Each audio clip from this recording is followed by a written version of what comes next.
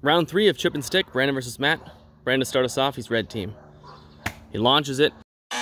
Brandon Nasserini to start us off. Second shot, he bounces up. It looks like he's got a one pointer in the fairway.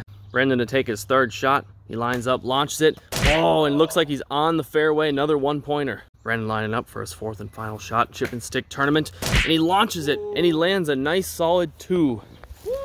Matt's turn now. Here goes Matt Magno, round number three, shot one. Let's see what he can do. Bounces it. Ooh, a bouncer. Look at that bouncer.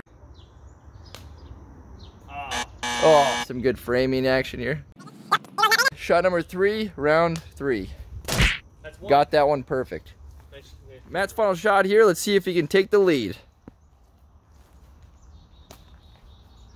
That's Oh, he stuck it. Got two.